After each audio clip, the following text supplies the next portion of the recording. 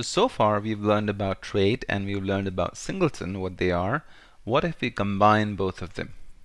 Like trait and singleton and have a trait singleton, right? How would that look like? So let's discuss that. So let's create a trait using a trait keyword and we name it as singleton. And we all know that we can't instantiate it directly. Now what we're going to do is we'll create a public static function and name it as get instance. And inside of this I'm going to create a static variable called instance. In the previous example we had put that on the top. Let's put it here this time. And we'll hold the instances in in an array. Okay and then there is a function called called get called classes. I'm going to store that into the get class variable. So get called classes. Class sorry get called class. And then what does it do? It basically does the late binding okay? Uh, and returns fall if calls outside of the class. So it basically returns the called class. And then we check if not is set instance of called class then we create an instance of the called class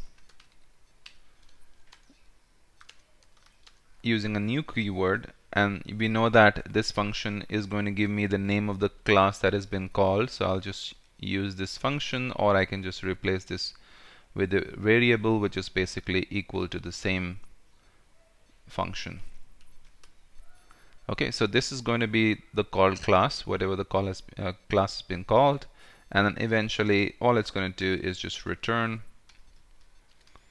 instance of the call class. Okay function because call class is going to return the name of the class name of the call class and then you have to use this also. Okay to instantiate it.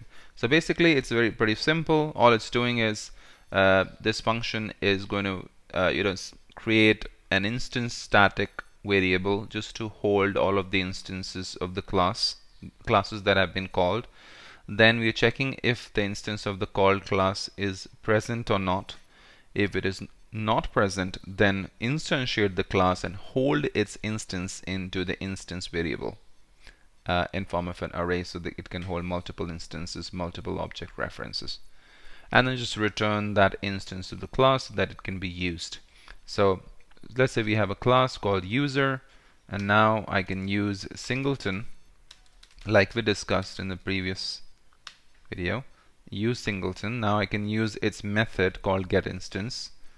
And let's say this this uh, class all it does is just echoes a string called user okay now what we're gonna do is instantiate this class. So let's say we have user one user get instance. Okay so what this is going to do is it's going to go ahead and call the get instance method.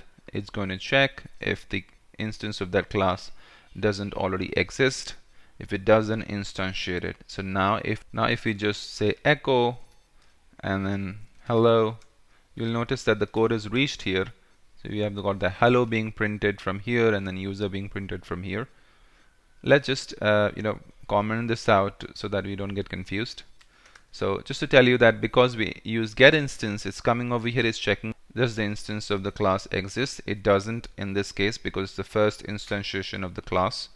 Uh, that's why it's just echoing hello over here. Next time it, I can go ahead and instantiate it again and I can say user2 and this time say get instance and see what happens. So ideally I'm expecting that this should only be uh, you know echoed once because the second time it won't reach uh, this condition so now if you refresh you see that hello is only being called once why because it's not coming inside of the condition the second time because the instance of the class already exists.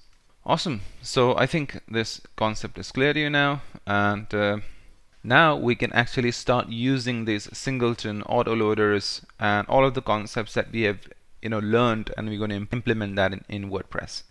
Okay, so I hope you did like the video. If you did, please give a thumbs up and do subscribe to my channel if you aren't already. And do follow me on GitHub. Uh, my GitHub handle is Imran H Sayed and my Twitter handle is Codeytek.